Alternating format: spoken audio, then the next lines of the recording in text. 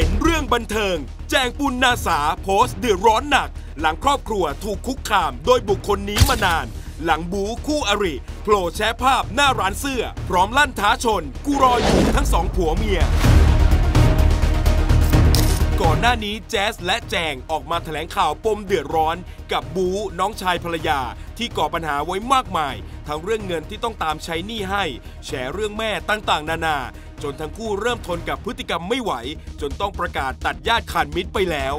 จากนั้นไม่จบจนมีเรื่องขโมยขึ้นบ้าน แจงบอกไม่มีหลักฐาน แต่ไปปรากฏหลักฐานที่คู่กรณีไลฟ์สดถามว่ารองเท้าพี่แจ๊สป่านนี้ไปแล้วสิอีกฝ่ายก็ได้ตอบว่าเป็นคนเอาไปเอง จนต้องส่งหลักฐานให้ตำรวจ และยังพบอุปกรณ์เสพยา ถุงยางอนามัยทั้งใช้แล้วและยังไม่ได้ใช้ ห้องนอนเหมือนแอร์เพิ่งปิดไป ทิ้งของใช้มือถือไว้อีกด้วย ล่าสุดแจ๊สโพสต์ข้อความผ่านไอจีส่วนตัวว่า จะเอายังไงก็ว่ามาเลย อย่ามาแค่แบบนี้จักกะจี้ กลับมาแล้วนะ เจอกันพร้อมกับรูปบู๊ที่โพสต์ผ่านโซเชียลส่วนตัวไว้ว่า มาอวยพรร้านใหม่มึง เสียดายไม่เจอกันนะ ใกล้กันละมึงท้ากูอีกทีนะมึงไอ้นักเลง 191 เร็วๆนะ กูรออยู่ทั้งสองผัวเมีย พร้อมเช็คอินอยู่ที่ท่าขี้เหล็ก รัชฉานพม่า แต่รูปถ่ายอยู่หน้าร้าน JSP KK Store รวมถึงคู่กรณียังเคยได้โพสต์ข่มขู่บางอย่างว่า ถ้ากูไม่เจอเจ้ ต้องมีคนรับเคราะห์แทนบอกได้คำเดียว ไอ้ต่อคืนนี้กูจะเข้าไปหามึงที่บ้านล่าสุดเรื่องนี้น่าจะสร้างปัญหาให้แจงและครอบครัวเป็นอย่างมาก จนต้องโพสต์แจ้งทั้ง IG และ Facebook ส่วนตัวหลายครั้งและทีที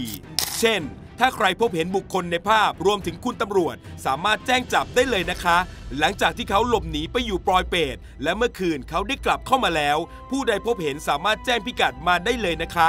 ต่อด้วยตามภาพเลยค่ะ กูจะวิ่งตามมึงเอง พร้อมข้อความให้ค่าพาไปส่งตำรวจ 1 0 0 0 0แสนบาท ผู้ใดพานนำจับได้ พร้อมมอบค่านำจับค่ะ บุคลิกผอมสูงสูง 180 ผิวไม่ขาวไม่ดำ ตัดผมสั้นเกรียนหรือตามภาพ และอีกข้อความไม่ถึงชั่วโมงว่า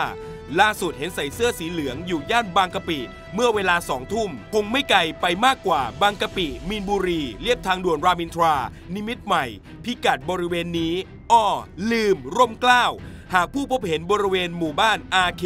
Office Park มีนบุรี รบกวนถ่ายรูปหรือส่งข้อมูลให้ทางอินบ็อกซ์ได้เลยค่ะ รวมถึงใน IG ส่วนตัวแบบรัวๆเช่นกันว่าครอบครัวเราถูกคุกคามโดยบุคคลคนนี้มานาน คนนี้คือผู้ต้องหาที่มีคดีติดตัว เขาหนีไปประเทศเพื่อนบ้าน และเขากลับมาตั้งแต่เมื่อคืน ดิฉันขอความกรุณาจากพี่ๆน้องๆ และคุณตำรวจ หรือผู้ใดที่พบเห็นบุคคลนี้ กรุณาแจ้งกลับมาที่เราทีค่ะ ขอความกรุณาจากคุณตำรวจด้วยค่ะ Hashtag พวกเราถูกคุกคามจากโจร